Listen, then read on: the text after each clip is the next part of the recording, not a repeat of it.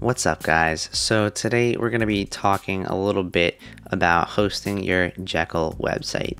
So you finished building your website and you're ready to put it on the server or up somewhere so everyone can see it. What do you do? So there's two ways that you can do this. You can host it for free using GitHub Pages because they actually use Jekyll um, and that's super simple and I've created a few videos on how to um, you know set up GH pages uh, with a GitHub repository and even add SSL connections to that so I think I have like a total of three videos around that and I'll put the links to it in the description below.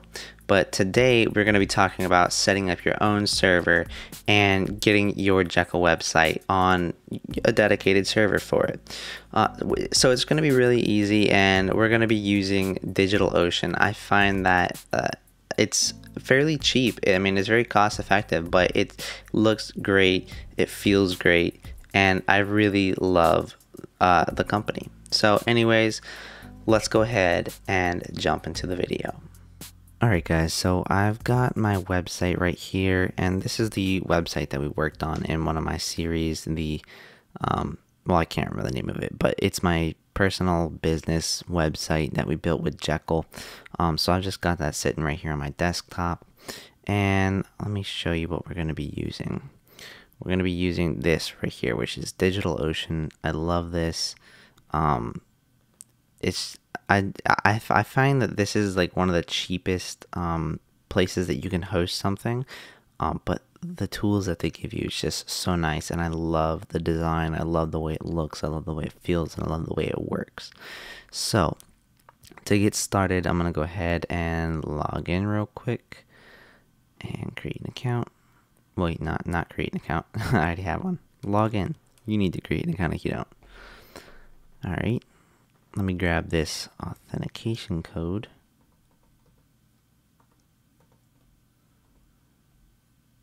And voila. We're in. Okay, so all you need to do is create a droplet, which is very simple. Um, so I'm just going to click create droplet. And what this is going to do is it's going to set up like a, a hosting server for you. So you could go in here and configure this all on your own, but let's go ahead and we're going to click one click apps. And we're going to use a LAMP installation. So it's Linux, Apache, MySQL, and PHP. And then we're going to come here and click this cheapest one, which is only going to charge you like 0.007 cents an hour. And it's only going to come out to like five bucks a month, which is honestly, that's, that's really cheap. Um, so we're going to scroll down here. I'm not going to enable any backups or in, any of this other stuff. I am going to select New York as my data center region because uh, I'm in the US and on the East Coast. Uh, I'm not going to select any of the additional options here and I'm not going to add any SSH keys because, I mean, it, yeah, it would make it more secure for logging into it and signing into everything, but it is it can get a little confusing. So we're just going to bypass that for now. And then we can name our droplet. So I'm just going to name this YouTube tutorial and click create. Alright, so this is going to take just a half a second here and it's going to, uh, well, it's going to create your droplet and set it all up. Okay, so now that that's set up, you'll see you should have an email here. Yep, from DigitalOcean and it's going to have a few things. It's going to have your droplet name, an IP address, uh, the username, and a password. So I'm going to grab the IP address and load that. And let's see. This is what you see right here. It's your website so far. So it says, please log into your droplet via SSH to configure your LAMP installation. So we are going to use the terminal here. Um, but if you wanted, you could come over here and you could use the uh, access console. So it's uh, DigitalOcean's console, and you could do the same thing. But I'm going to use the terminal. So let's grab this password because it's quite a long pass. Well, I'm going to need the IP address first. So to do the SSH, you're going to need to type in SSH and then root because that's the username at the IP address that's going to get you here. I'm going to type in yes. We want to continue connecting. And then now you need to type in that password, that long password. So I'm going to copy that paste that in, hit enter.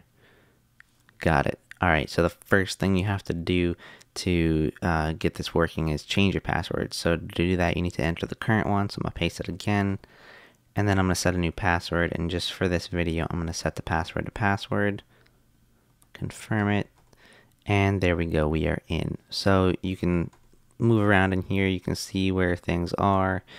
Um, so this is the root, and I'll show you where we're going. So we're gonna be going into var. So we'll go into var and then we're going to go into the www.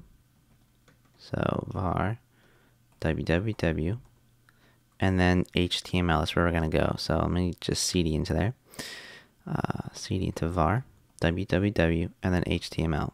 And then I'll show you what's in here. And it's the index in .html and info.php. And if we show you what this looks like here, you'll see on the message, please log into your droplet via SSH to configure your LAMP installation, which is exactly what we read here. So now what are we going to do? Well, we want to go ahead and get our own website on there. So we are going to use FileZilla. So to do that, we're just going to need to set this up real quick. It's not going to take much time at all. So we're going to do a new site. We're going to use SFTP and we need to add a few things. First, we need to add this IP address. And if you connect your uh, domain name in the future, you could put that there, but connect the host, which is the IP, set the logon type to normal. And now we need to set this as root and then set the new password that we just set up, password, and then connect. Um, okay. And okay. and we are connected it looks like so we're gonna click on the root here and then we can come all the way down go to var go to www and go to html and you'll see the two files right here. So we're just going to delete these two files just because we simply don't need them. And now we're going to get our site hosted on a server. This is so simple to do and I love how easy Jekyll makes it, and DigitalOcean makes it as well. So I'm to go to the desktop, go open the folder, the project. So this is the project. So all you need to do to get your site hosted on um, a server is take all of the contents from this underscore site folder right here and simply put them over here on the server. And anytime you work on your Jekyll project and you rebuild it or uh, whatever, if if you get the server running or you just do a build, it's gonna update this, and all you gotta do is just drag what you have here and put it on the server. So now if we come over here, let's grab that IP again, let's paste it and search and see what we see. Let's refresh. There you go. That's it. Your site is now hosted on a server. Alright guys, that's it. That's uh, what all you need to do to get your site hosted on a server. It's very simple. Setting up a droplet is very easy. Now, when you set up a droplet and you use SSH, it can get quite confusing, um, but it is a little more secure. And if you want, I could create a video on that in the future, but uh, I'm not going to unless you guys want me to make a video on that. It's it's a little confusing, so just let me know if you guys have any issues with that. If you have any issues setting up your droplet, let me know. Um, and let me know if anything changes with them because I can recreate this video if you're watching this in the future and it's different.